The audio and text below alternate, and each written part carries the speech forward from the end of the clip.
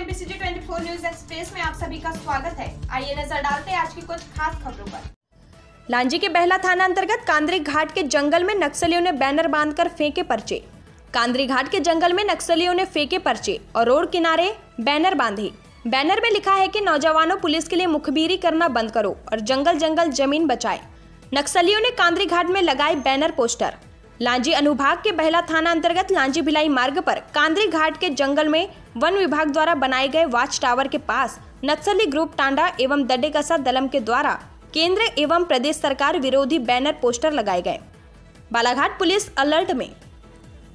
MPCG 24 news express, Lanji से पवन कश्यप की report. आज सुबह सीतापाला चौकी अंतर्गत कांदरी घाट के आसपास दो बैनर अपने को, दो नक्सली बैनर मिले हैं उस घाटी में।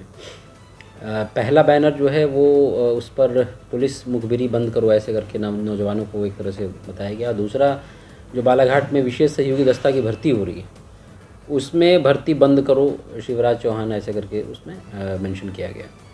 दोनों बैनर मुझे लगता है कि पुलिस के लिए एक पॉजिटिव इंडिकेटर है। क्योंकि पहले दोनों बैनर से एक तो पता चलता है कि हमारा जो मुखबिर तंत्र है, बहुत स्ट्रॉन्ग है गाँव में, जिससे नक्सलियों के बीच में काफ़ी हताशा और डर का माहौल है। उनको पता है कि भाई, कभी भी उनकी जानकारी लीक हो रही है। और दूसरा कि जो विशेष सहयोगी दस्ता की भर्ती है, जो मैंने शुरू में बताया था कि ये पोटेंशियली गेम चेंजर है बालाघाट के लिए।